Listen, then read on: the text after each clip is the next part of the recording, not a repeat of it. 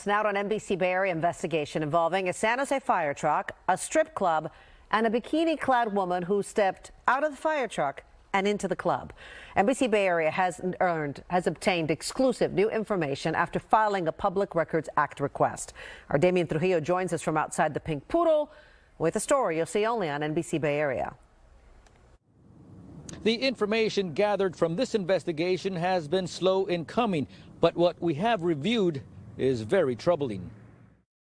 The video posted on social media shows a woman in a bikini climbing out of San Jose Fire Engine 4 and into the Pink Poodle Gentlemen's Club on Bascom Avenue. After we brought the video to the attention of the mayor and the fire department, the city launched an investigation, but that's the last we've heard from them.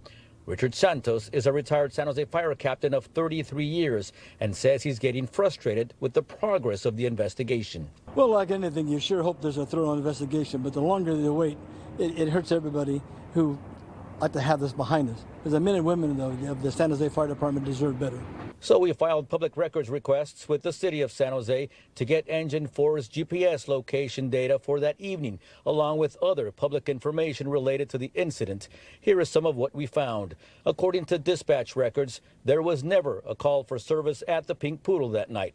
But at 9.06 p.m., GPS data shows engine 4 stopped in front of the Pink Poodle. The engine then appears to circle the block before returning four minutes later at 910. Then at 914, the GPS pings two miles away, showing engine 4 stopped in front of AJ's Bikini Bar. GPS data shows the engine was there for about four minutes. Is there an error in judgment? So be it. We got to deal with it. But it doesn't take away from the 100% that they give every day for the citizens of the city of San Jose. We also obtained text messages between city leaders on the night we alerted them of the video. They show leaders scrambling to get a message out to the media.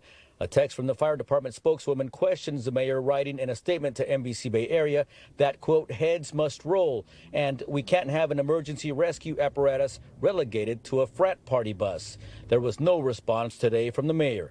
We can't tell how the chief was responding much of the time because some of his text messages were redacted without any explanation, which NBC Bay Area plans on challenging. In a short statement today, the city would only say this is an ongoing investigation that includes all the data they have. The fire department did not release the names of the firefighters on duty at Station 4 that night, citing the ongoing investigation. Santos says he's worried about the blemish the entire incident has left on the San Jose Fire Department. Damian Trujillo, NBC Bay Area News.